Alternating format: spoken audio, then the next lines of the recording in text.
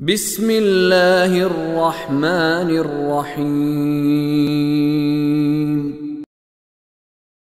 والذين آمنوا واتبعتهم ذريتهم بإيمان ألحقنا بهم ذريتهم وما ألتناهم من عملهم من شيء.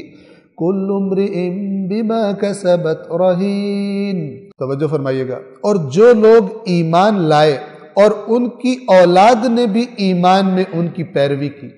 خود بھی مومن تھے، اولاد نے بھی پیروی کی۔ یعنی کیا مطلب؟ گویا کہ اولاد کی بھی تربیت کی۔ جتنا مجھے جہنم کا خوف ہوگا اپنے بارے میں، اتنا ہی اپنے بچے کے بارے میں بھی ہوگا۔ اتنا ہی اپنی بیوی کے بارے میں بھی ہوگا۔ اپنے پیارے دوست کے بارے میں بھی ہوگا۔ لیکن عجیب تضاد ملتا ہے۔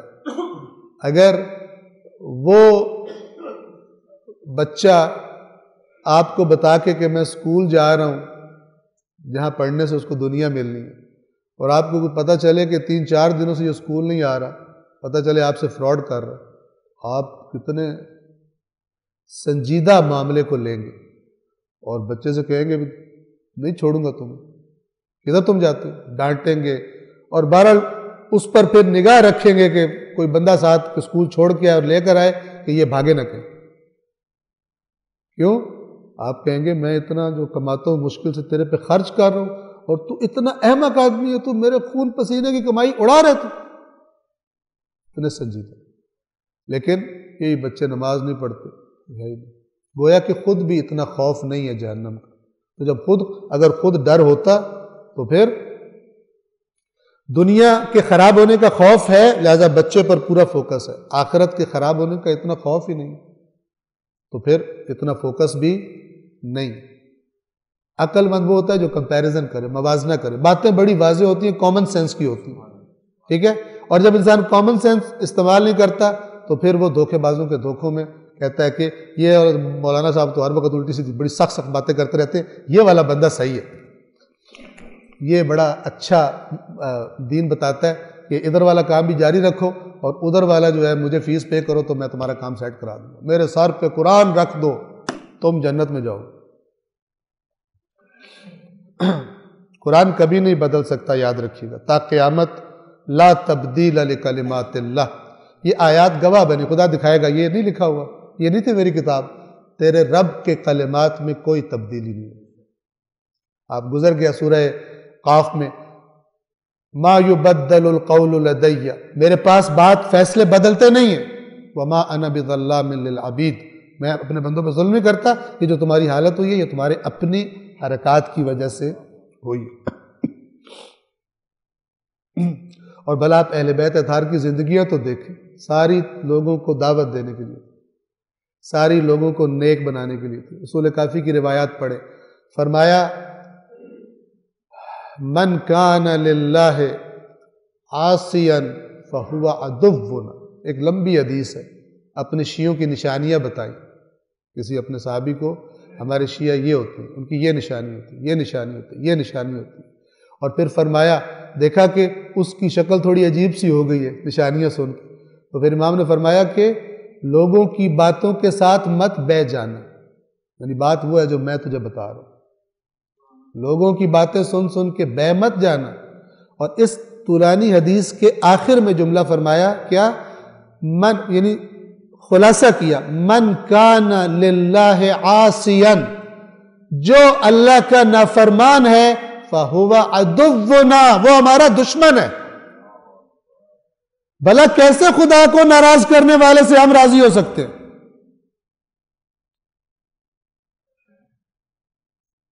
وہ جو اللہ کی رضا پر سب سختیاں سہ کے کہتے ہیں، خدایا جس طرح تو راضی، ہم راضی۔ وہ خدا کی ناراضگی پہ راضی ہو جائیں گے۔ زندگی میری خدا کو ناراض کرنے والی ہو اور مجھے کسی نے گولی کھلا دی ہو کہ امام سین تو اس سے راضی۔ یہ ٹھیک نہیں ہے۔ یہ ٹھیک نہیں ہے۔ یہ اگر آپ اچھی طرح ان باتوں کو ذہن میں رکھیں تو آپ کو انہی کو یہی قرآن کی آیات پھر نور بنتی ہیں، پھر انسان دیکھ لیتا ہے کون کیسی باتیں کرتا ہے۔ کیونکہ آپ کو اہل بیت کا دشمن بن کے کوئی خراب نہیں کرے گا۔ اہل بیت والا بن کے ہی خراب کرے گا۔ اہل بیت کے نام پر ہی تعریف کرے گا۔ آپ کے دلوں میں وہ جو پاکیزہ محبت ہے اہل بیت کی، وہ غلط استعمال ہو جائے گی۔ لہذا وہ بتا گئے ہماری باتیں قرآن کے ساتھ رکھ لیں۔ ہماری باتیں نہیں، ہم سے منسوب۔ کوئی کر کے آ کے تمہیں بتایا بھئی امام حسین نے فرمایا، پہلے قرآن کو دیکھ لیں ہم قرآن کے خلاف بات نہیں کرتے۔ لئی یتفرقا حتی یرد علی الحوز ابدن یہ جدا نہیں ہوں گے ایک دوسرے سے، یہاں تک کہ حوض پر مجھے اکٹھے مل جائیں۔ کل آپ کو میں نے صحیح و سنت چند دن پہلے حدیث سنائی تھی، کتب اہل سنت سے۔ کہ جناب ام سلمہ فرماتی ہیں، میں نے خود رسول اللہ سے سنا ہے کہ قرآن علی کے ساتھ اور علی قرآن کے ساتھ ہے کہ دونوں کبھی جدا نہیں ہوں گے، یہاں تک کہ حوض کوثر پر میرے پاس اکٹھے ہوں۔ اتنی وضاحت کی بات۔ اور ہم انہیں، اور جو لوگ ایمان لائے اور ان کی اولاد نے بھی ایمان میں ان کی پیروی کی، ان کی اولاد کو ہم ان سے ملا دیں گے۔ یہ ایک ایکسٹرا خوشی ہوگی۔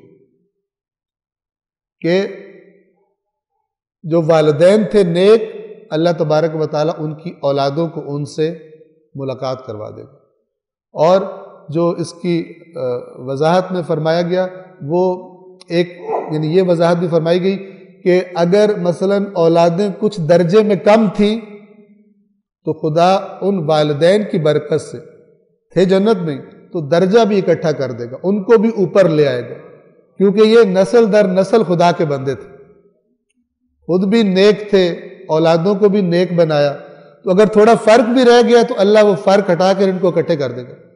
اور وہ جو اپنی اولاد کو، اپنے رشتے داروں کو دیکھنے کی لذت ہوتی ہے، وہ خوشی بھی ایک ایکسٹرا خوشی بن جائے گی۔ جبکہ دوسری طرف، یوم یفر المرء من اخی و امی ہی و ابی و صاحبتی ہی و بنی جس دن باپ بیٹے سے بھاگ رہا ہوگا بھائی سے بھاگ رہا ہوگا، بیوی سے بھاگ رہا ہوگا، سب سے بھاگ رہا ہوگا۔ ایک یہ اور سورہ معارج میں ہے کہ کہے گا، ان سب کو اگر اللہ جہنم میں ڈال دے، مجھے چھوڑ دے، میں تیار ہوں سودا کرنے۔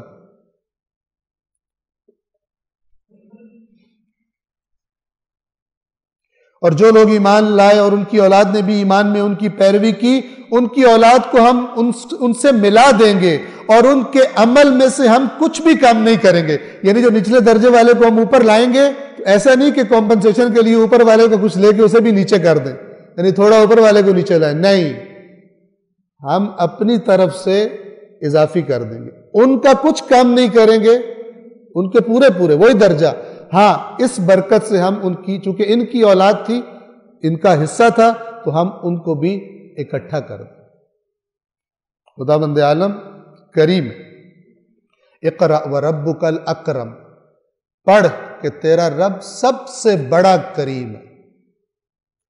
جہاں تک کسی کی بزرگواری اور کرم کا تم تصور کر سکتے ہو، تیرا رب بہت بڑا، سب سے بڑا کریم تو تیرا رب ہے۔ سب سے ارحم الراحمین، جو رحم کرنے والے ہیں، تم جن کو رحم کرنے والا، سب سے زیادہ رحم کرنے والا تیرا رب ہے۔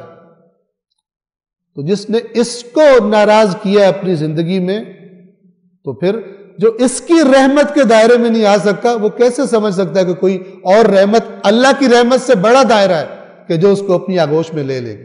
باقی تو جو جتنا رحیم ہے اور کریم ہے، وہ اس کی عطا سے ہے، اس کے مقابلے کی رحمت اور کرم کسی کے پاس نہیں۔